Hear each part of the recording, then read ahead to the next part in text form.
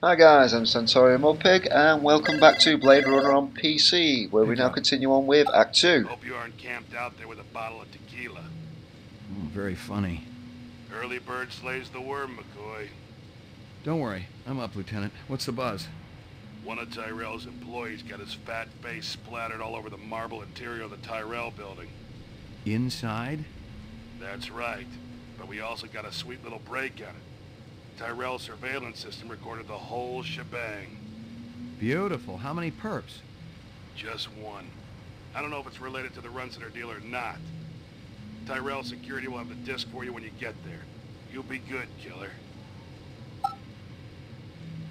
Alright, so off to the Tyrell Corporation to check out the crime scene. But first, let's give some num-nums to Maggie, Here you go, baby. Dinner time. even though it's breakfast. McCoy. Your floor number, please. To the roof. And we'll jump in our spinner.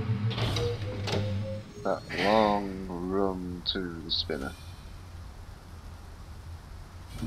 Tyrell Corporation is pretty obvious where it is, right there at the top. Those two iconic buildings.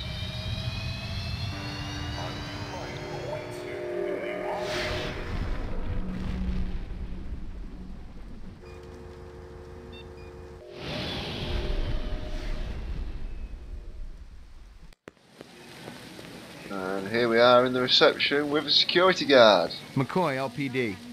Uh, yeah, just a minute. Where do I go? Grav test on the east wing, 66th floor. Uh, here's the footage from the security cameras. You get a pretty good look at the man's face. That was How'd he good of get him. past you guys? He pretended to be a delivery man. Dr. Eisenduller ordered in a lot, so it didn't seem unusual. Yeah, so obviously they don't I check have more questions for delivery you later on. guys for Yes, sir. Weapons. I think it'd be pretty standard considering the line of work. Here we are. So there's a couple of things on the floor to check out for. We've got another earring on the floor. The earring was shaped like an insect. I didn't know much about jewelry, but it looked like junk to me. Like the cheap crap sold Second at the stands and shops of Animoid Row. There may or, or may not also be a brochure on the floor as well. In my case, there is no brochure. Once you've got your items, just head on inside. Jesus. I've seen worse, but not by much. Learn anything? You could strain him through a sieve. That's a no then. In here we've got a Kingston Kitchens takeout box. A takeout box from Kingston Kitchens. And there'll also be a dog collar just in front of the door as well. The dog collar has a name on it. Ricky, maybe? And then you want to check out the body.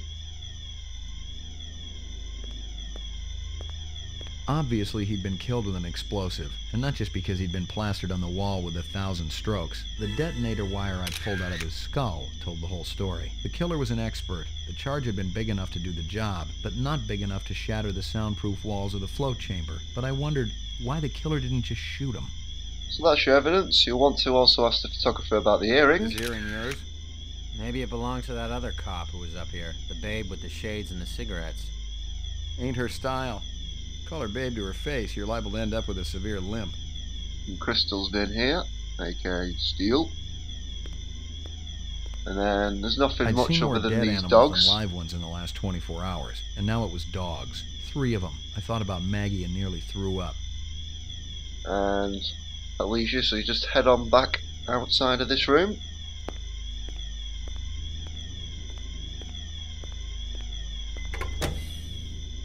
And then back in here, the left hand side panel of these computer row. If you click on there, Someone had tried to access a bunch of protected files on the Tyrell network and failed. Not just once, but a dozen times. Tyrell engineers might forget their passwords, but what would the GravLab boys need with replicant DNA sequences and incept dates?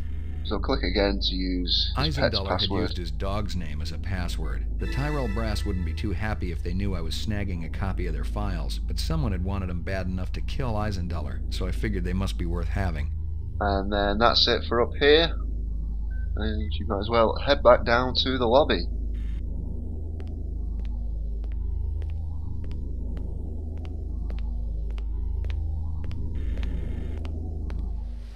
Lagging behind again? Guza didn't say anything about me working with a partner. Oh, in a pig's ass, Slim. No, I'm following up on my own. Could be it's linked to this Tyrell debacle.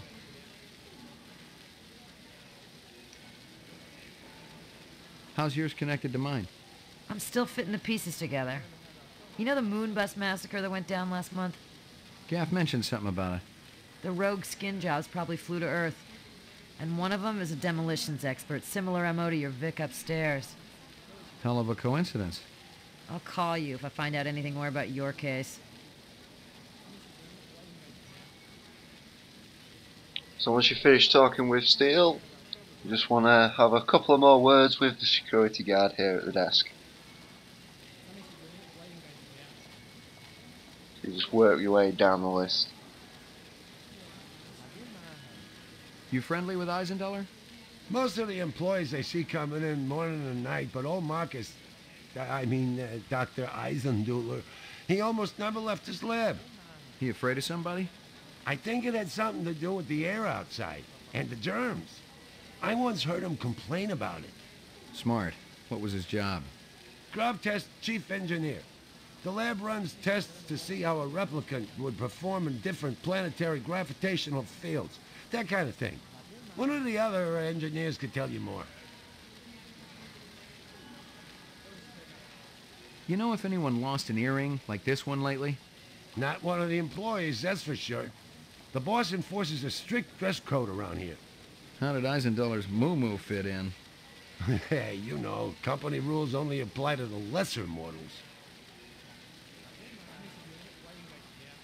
How do I get in to see the big boss? You don't, unless he wants to see you.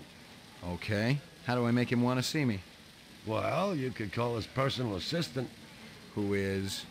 Don't know offhand. Yeah, I get the picture. You know anything about Tyrell's computer system? Security's tight as a drum, if that's what you're asking. Somebody tried to access restricted data from the terminal in Dr. Eisenduller's office. But they couldn't get in. Yeah.